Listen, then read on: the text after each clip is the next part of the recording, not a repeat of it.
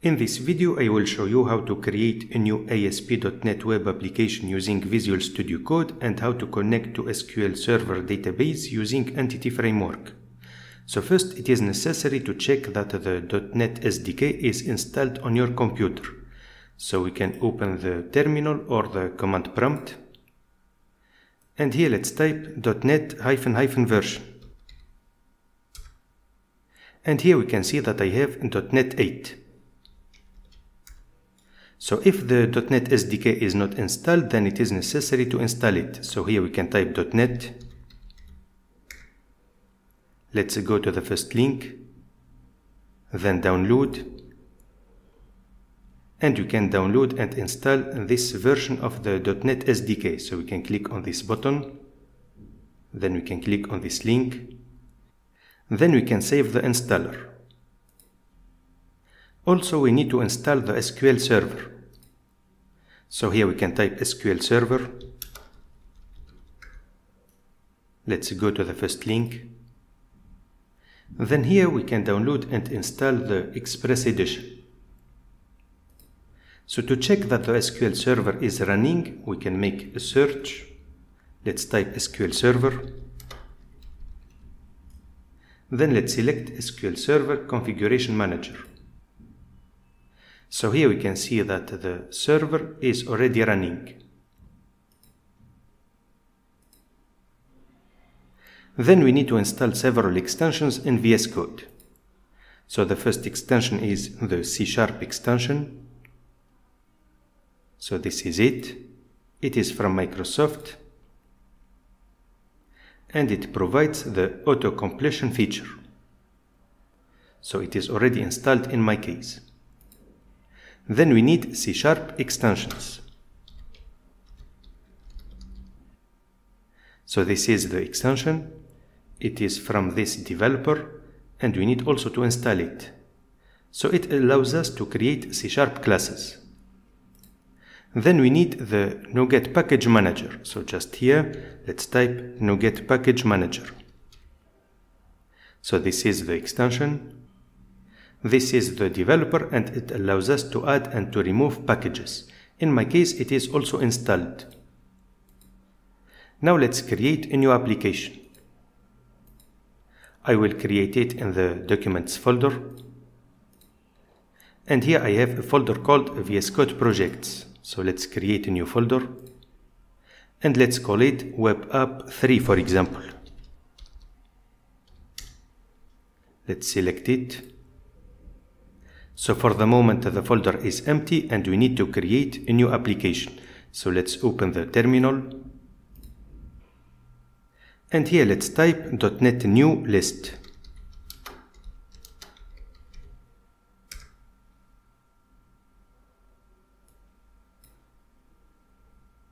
So here we have the full list of the available templates and we need to create a new web application. So we have to use this short name. So we can also create an MVC application or also a web API and this is the full list of templates. So we can use this short name to create a new application using Razor Pages. So just here let's type .NET new, then web app. So now the application has been created correctly and to run it we can use .NET run.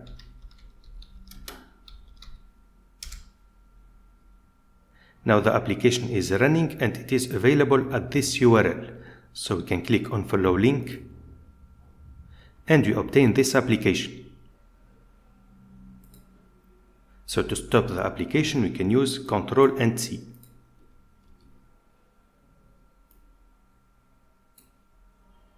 Now let's install the required packages to connect to the database using Entity Framework. So we can click on this icon, then Command Palette, then here let's write NuGet Package Manager. Then let's select NuGet Package Manager, then Add Package. So we need to connect to SQL Server. That's why we have to type SQL Server. Let's press Enter to make a search. And let's install this package. It is from Entity Framework Core. So because I have .NET 8 on my computer, I will not select a version that is higher than the version that I have. So I will select the version 8. Then we need the design package. So let's click on this icon again, then command palette, then NuGet package manager add package, and let's type design. Let's press enter. Let's select Entity Framework Core Design. The version is 8 and it has been added to this application. Now let's add the connection string that allows us to connect to the database to the file appsettings.json. So here let's add a new key. Let's call it connection strings. Then let's define the first connection string. We can call it default connection.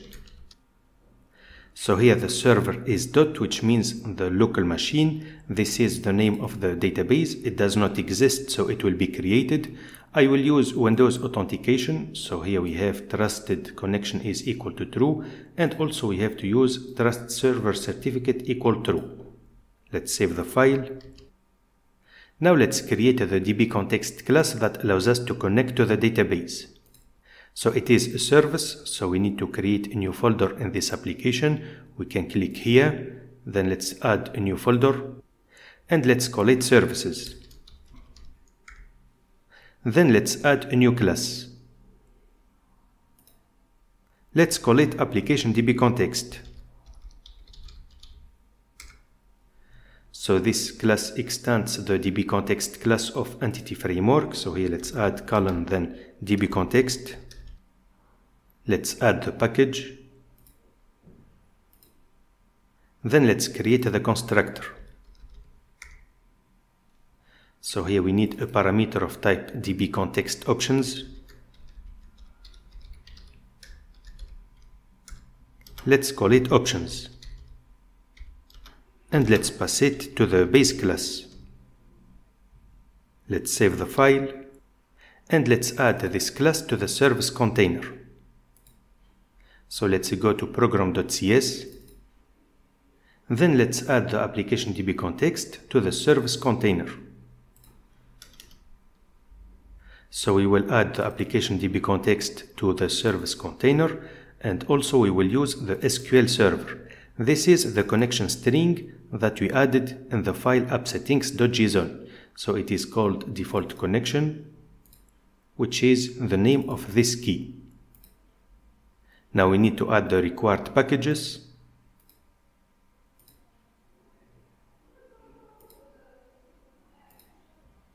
And let's save the file. Now we need to create a new model that allows us to create a new table in the database and also that allows us to read and write the data in the database. So let's create a new folder in our application. Let's call it models. Then let's add a new class. Let's call it product. Then let's define the different properties. So we need the product ID, the product name, the brand, category, the price, description, and the date. So here the price should have this precision. Let's add the required package. Let's save the file. Then let's create a new property in application DB context that allows us to read and write the data in the products table. So the property is of type dbset and the type is the product module. Let's call this property products. So products will be the name of the table in the database. Then let's initialize this table with some data. So we need to override the method on model creating. So these are four products that we will add to the products table in the database. Now let's save the file. Now let's create a new migration file. So let's go back to the terminal and let's type .NET EF migrations add and this is the name of the migration that we will create. Of course we can call it as we want. Let's press enter. But here we can see that we have this error. So we need to install the .NET EF tool. So just here let's type .NET tool install then we will install it globally and this is the name of the tool. Let's press enter. And here we can see that the version 8.0.2 has been installed. Now let's execute this command again. But it did not work. So here we can see that the version of .NET that I have is not compliant with this version of the tool that we installed. So we need to uninstall this tool and to install the correct version. So we can copy this command. Let's paste it here. Let's replace install with uninstall.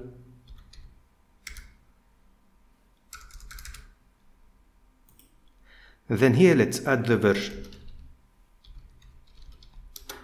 So I want the version 8.0.0. So now this version has been installed. Let's create the migration file again. So we need to type .NET EF migrations add and the name of the migration file. Now the migration file has been created correctly and it is available in the migrations folder. So here we have this file which is our migration file. So it allows us to create the products table. Now let's create the table. So we have to type .NET EF database update. So now the table has been created correctly, we can see it using SSMS, or also we can install a new extension in VS Code that allows us to see the available tables. Let's click on this extensions button, and here let's type SQL Server. Let's select this extension from Microsoft and let's install it. So it has been installed correctly and now we have this new icon. Let's click on it. Then let's create a new connection. We can click on this button. So the server is the local machine, so let's type dot. Then the database is called db2000. So let's write db2000 and let's use the Windows authentication. So let's select integrated. So the profile name is optional. Let's press enter. And let's click on enable trust server certificate. So let's expand tables. And here we can see that we have the products table. Let's expand columns.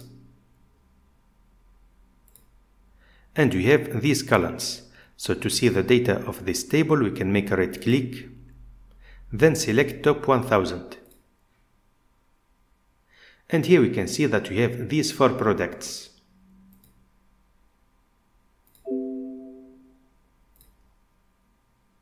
Now let's create a new Razor page that allows us to display the available products from the database.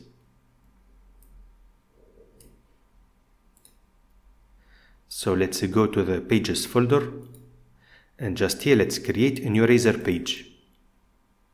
So we can go to new C sharp, then Razor page. And let's call it products. So this is the Razor page and this is the corresponding module. So in this class, we need the application DB context that we added to the service container that allows us to read the data from the database. Also, we don't need this field, so let's delete it. Let's delete it from here as well. And let's delete this statement. And because we need the application DB context, we need to request it in the constructor. Let's call it context. Then let's save it into a field. So we can use this button. Then create and assign field context. So we have this field that has been initialized just here. Now let's use this context to read the products from the database. Also, let's create a property in this class where we will save the available products. So it should be public and it is of type list of product objects.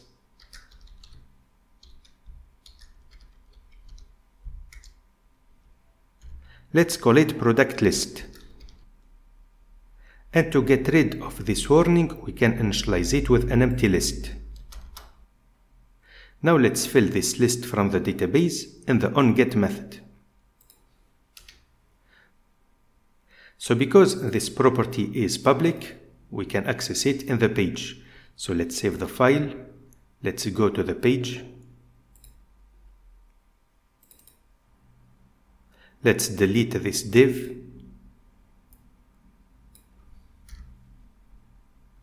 And let's replace it with a bootstrap table. So this is a bootstrap table. This is the first row that contains the name of the different columns. So we have the product ID, the product name, the brand, category, the price and the date. And for every product in product list, we will create a new table row. Now let's save the file and let's add a link to this page in the navbar.